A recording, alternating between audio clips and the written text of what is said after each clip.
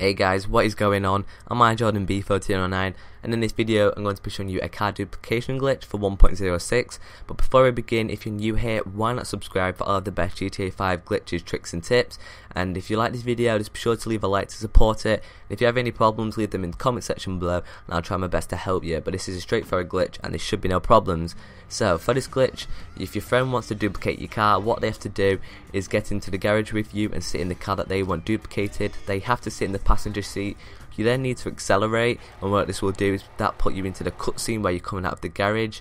The second that cutscene begins you want to pause the game go to press LB or L1 on PS3 and go to Xbox Game Store or PS3 Game Store. What this will do is it will put you into the game store but your friend will still be in that game and he'll have that car to himself where he then can just turn around and put it into his garage once you come back into the game, as you can see, your car will still be there. So they haven't nicked your car, they have a duplicate of your car. And um, just to clear this up and to make it more clear for everyone, we're going to show it in the person view of the person that wants it duplicated.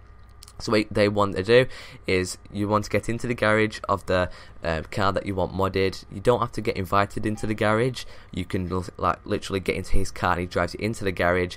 But say now if I want this Sultan modded, like duplicated for me, I'd have to get the person, the owner of that car, to sit in the driver's seat. I then sit in the passenger seat as I want this duplicated. So I'm going to sit down now in the passenger seat my friend, the owner of the car, then has to accelerate and um, it will put him into that cutscene where we're coming out of the garage.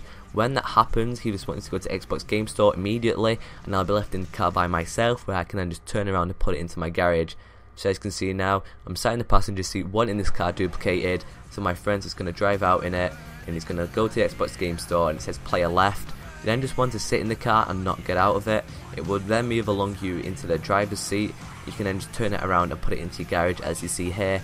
And that's it guys. That is a new duplication glitch. If you like someone's car you just have to sit in it in the passenger seat in their garage. They then just go to Xbox Game Store while the cutscene's going on and um, they will leave the game. You'll still be in the car and then you can just put it into your garage. It will not be insured so you'll have to go to Santos Customs and get it insured.